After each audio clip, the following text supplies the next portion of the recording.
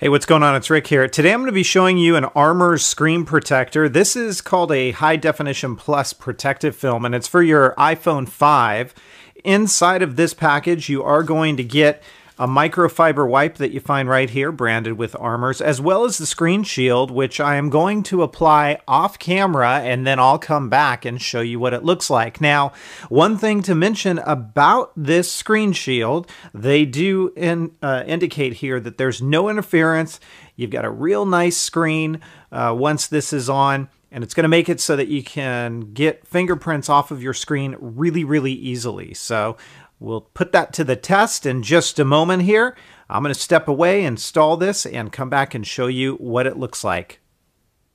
Okay, and we're back, and the screen shield is on. Again, this is the High Definition Plus Protective Screen Shield. And you can kind of see it has a real nice glossy look to it. And while it does attract some fingerprinting, as you might be able to see there, I definitely think that their claim stands true because it wipes off really easily. Um, and that's just not using too much effort. So let's go ahead and turn the phone on. I'm going to show you what this looks like up close so you can kind of get a good idea. You know, I always do it on a white background uh, to kind of test how clear this is because on a plain white background, you tend to see the kind of what I'll call the sparkle effect if it's getting a grainy look. I don't know if you can catch it here, but it's very, very clear. I don't have any issue with that whatsoever. Now, this area up here is where your cutout is, as well as down here for your home button.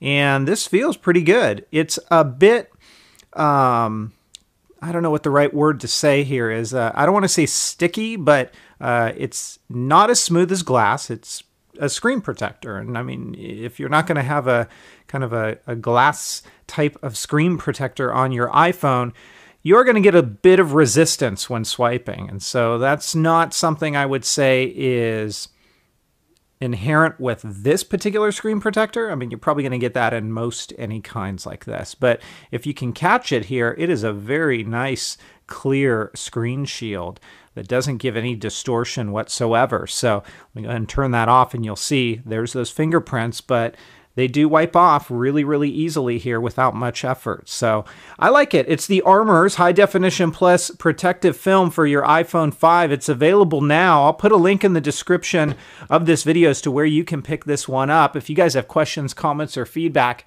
as always, please feel free to let me know. Otherwise, I'll catch you next time. Take care, everybody, and have fun.